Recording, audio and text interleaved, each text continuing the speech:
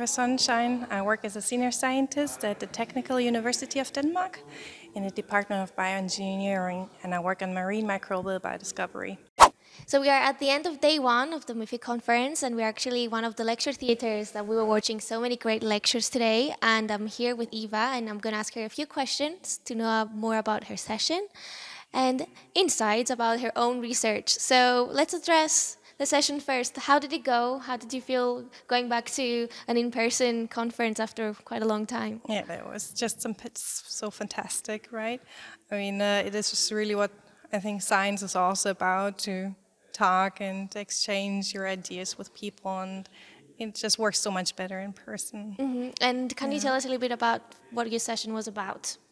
Yeah, so the, the whole session was about uh, genome sequencing and analysis, uh, and I think the talks were very nicely organized. So, for example, uh, in front of me there was a speaker uh, talking about EFSA guidelines, and then I presented our study on how we actually use the EFSA guidelines uh, to describe a marine mm. bacterium. And then you gave uh, your your own talk, right, on how you can use probiotics to address bacterial infections in aquaculture. Yes, exactly. So uh, we have been studying a, a, marine bacterium called Phaeobacter inhibens for uh, many years now in the group, and also other scientists um, have been working on the strain because it has a very potent activity against fish pathogenic bacteria such as Vibrio. And uh, in this uh, review article that we just published now, um, together with a scientists from, uh, from um, we actually made a review of this core knowledge on the strain and also um, made a safety assessment on the strain. So we, mm -hmm. for example, screened the genes for antibiotic resistant genes and yeah. so on. And is this uh, bacterium uh, found naturally in the environment? Exactly. That is one, really one of the the benefits of the strains and um, also why we think it is a really good candidate to be a probiotic for aquaculture because it has originally been isolated from aquacultures mm -hmm. um, and occurs naturally in aquacultures. Yeah, and then how does the probiotic action come from? Where does it come from? It could actually be pinned down to uh, one very specific small secondary metabolite uh, called tropodithietic acid. Mm -hmm. um, and that is really potent uh, against these fish pathogens. Okay. And then, like, in terms of, of resistance, because I know that um, there's a huge issue about using um, antibiotics in aquaculture because of the resistance that they, mm. Um, the, they can develop afterwards. So, uh, does this occur also? Do you see resistance also de being developed under this compound?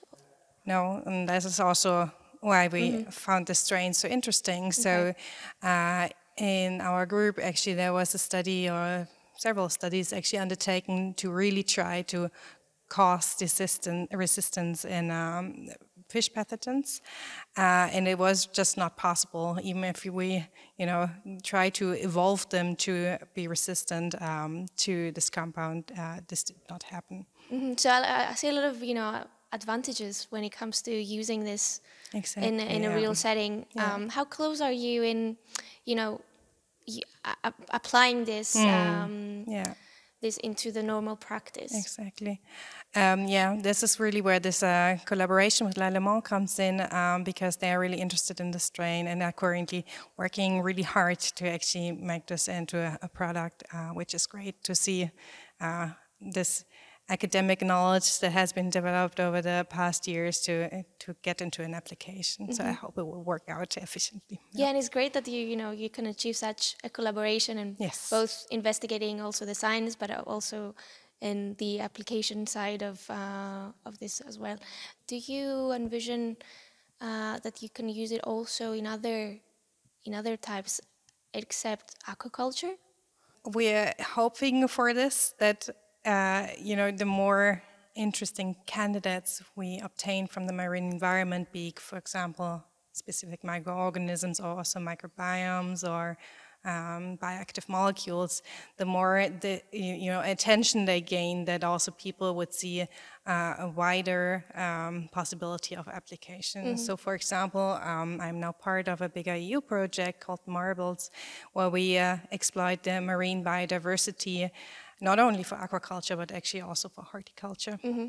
Because you know, today we've heard a lot about using probi- probiotics in humans, so it's actually very mm. interesting uh, uh, that you also do research probiotics for aquaculture, and I also hear now on the environment. So Yeah. it's great to see how research is evolving around this feed and food ingredient theme, theme and topic. Yeah, absolutely. Uh, I think we we learn a lot from each other, right? Or, uh, yeah, of course, there's a lot of resources uh, put towards, I think, human health. Of course, we've seen that uh, over the past decades, um, and so from an environmental side, it's really nice that we, you know, can go and see how they are doing things, and then see how we can tra- translate it this, this in other areas. Those were the questions that I prepared uh, for you today. Just I want to thank you again for for your time here, and I uh, I hope you enjoy the final day of the conference tomorrow. Yeah, thank you so much. Thanks for giving me the opportunity to talk.